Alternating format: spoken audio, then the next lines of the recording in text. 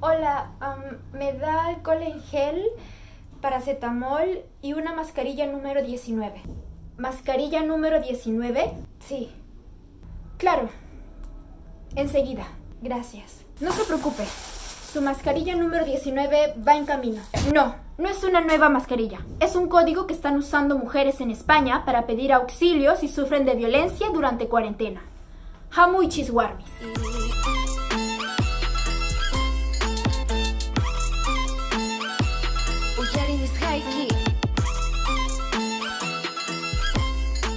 La violencia contra mujeres, niñas, niños y adolescentes continúa dentro de las casas en cuarentena a nivel mundial. Tanto es así que se han inventado nuevas formas, como la de España con la mascarilla número 19 para pedir ayuda. En Uruguay se ha establecido la prueba rápida, que consiste en que los equipos de salud, al visitar las casas por la cuarentena, ponen en práctica protocolos ya establecidos para identificar si alguna mujer es víctima de violencia dentro del hogar.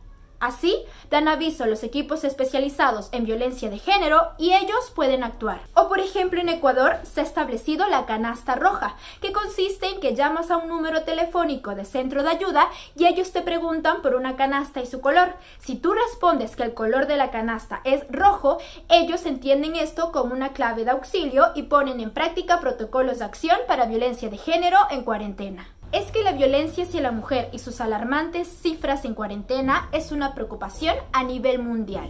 Por ejemplo, en Argentina, las llamadas para avisar sobre situaciones de violencia han aumentado un 40%, mientras en Colombia un 130%.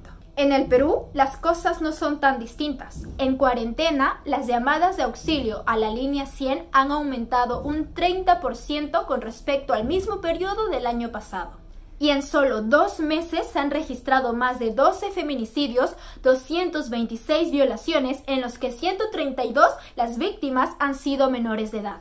Menores de edad como la adolescente de 14 años en comas que denuncia haber sido drogada y violada por dos policías. Los policías la intervinieron durante cuarentena con la excusa de no tener DNI. Después de subirla al patrullero, le dieron un vaso de agua. La adolescente pierde el conocimiento y es ahí donde ocurre la violación. Ya después, cuando hallaron al adolescente, espérate hasta el final. Eso pasó en Lima. Si vamos a Piura, encontramos el caso de la mujer que estuvo desaparecida durante una semana en Morropón y que luego fue hallada muerta en la carretera. Los policías ya tienen a un sospechoso. Pero espera, más adelante te comento más sobre el caso. En Arequipa, Cintia Torres fue apuñalada por su conviviente, Rubén Castro, cuando estaban en su casa durante cuarentena. Herida, pudo llegar a la puerta de su casa para intentar escapar. Dos de sus amigas la hallaron y la llevaron al hospital. Sin embargo, lamentablemente ahí falleció desangrada. Este caso estuvo a punto de quedar impune. En unos momentos te contamos por qué. En Chontalica, Jamarca, una niña de 13 años fue amarrada a las vigas del techo de su cuarto por su propio padre, José Felizardo, quien luego le haría tocamientos indebidos sin su consentimiento. Aquí, señorita, le encontraron los testigos así a mi hija, atada las manos y acá los pies. Mientras la amordazaban, los ruidos y los gritos de la niña alarmaron a los vecinos. Ellos fueron a ver lo que sucedía. El agresor intentó huir, pero finalmente fue capturado. Sin embargo, cuando llegó el momento en que los jueces debían decidir sobre la prisión preventiva, en unos momentos te contamos lo que pasó. El acoso sexual también es una forma de violencia que hemos podido ver en este estado de emergencia, como el caso que pasó en Chorrillos de un hombre que acosó y besó las partes íntimas de una joven cuando ella estaba fuera de una tienda. El acosador tenía antecedentes. En ese momento también uno no sabe qué enfermedades puede tener, no sabía si estaba infectado y bueno, me eché bastante alcohol o me bañé. Pero aún no terminamos con esto. Veamos un caso más. El ciberacoso también es una forma recurrente de violencia que se ha encontrado durante cuarentena, como el caso de la actriz y cantante Mayra Goñi que hizo un en vivo en Instagram y un hombre se enlazó en el en vivo y mostró sus genitales. Lo peor es que este mismo agresor comenzó a mandar videos con el mismo contenido a las seguidoras de la actriz, muchas de ellas menores de edad. Pero adivinen cómo reaccionaron algunos usuarios con sus comentarios con respecto a este hecho. Ahora sí, ¿Qué es lo que ha pasado con todos estos casos? ¿Saben cómo encontraron a la menor de edad drogada y violada por dos policías en comas? Abandonada en plena calle durante cuarentena y aún estando drogada.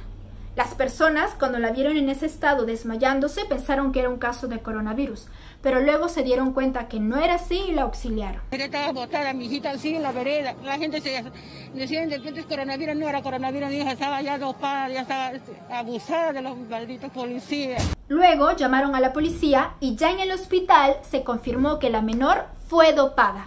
Ya se han identificado los presuntos agresores, pero aún no revelan los nombres. Por ser de la policía, ¿Saben qué pasó con la mujer que fue hallada muerta en Piura luego de una semana de desaparecida? El principal sospechoso era el vecino que la acosaba constantemente y que ahora no se sabe dónde está. ¿Saben qué pasó con el caso del feminicidio de la mujer apuñalada por su conviviente? La madre del feminicida fue detenida por los policías por no acatar la cuarentena. Es ahí donde ella confiesa que en realidad a quien debían detener es a su hijo por haber asesinado a su conviviente. Es ahí donde los policías fueron a la vivienda a investigar, pero encontraron todo limpio y con las cosas movidas y modificadas. ¿Saben qué pasó con el señor que torturó y tocó a su hija de 13 años en Cajamarca? Este hombre tenía antecedentes de otras tres denuncias por intentar violar a niñas durante el 2017 y 2018. Sin embargo, pese a las pruebas y los antecedentes, los jueces Pariguamán Leonardo, Sánchez Vances, y Ortiz Carrasco consideraron que no habían pruebas suficientes y lo dejaron libre. Y hasta el día de hoy este hombre, José Felizardo, sigue en libertad. ¿Sabes cuáles eran los antecedentes del hombre que acosó y besó las partes íntimas de una mujer en Chorrillos? Por el testimonio de la víctima y de la señora de la tienda, se sabe que no es la primera vez que este hombre acosa a una mujer en la misma bodega de siempre. ¿Saben qué comentaron algunas personas sobre el caso del ciberacoso hacia Mayra Goñi? Muchos comenzaron a hacer mofa sobre este hecho. Algunos otros lo trataban como un trofeo, como una hazaña, se etiquetaban entre ellos, comenzaban a celebrar. Otros decían que ella es un personaje público y que está expuesta a esto, que para qué hace un en vivo de los creadores de ¿Para qué te pones falda? ahora viene porque haces un en vivo para justificar un acoso que le escriban a mis seguidoras, que son menores de edad algunas, eso sí me indigna y me da rabia.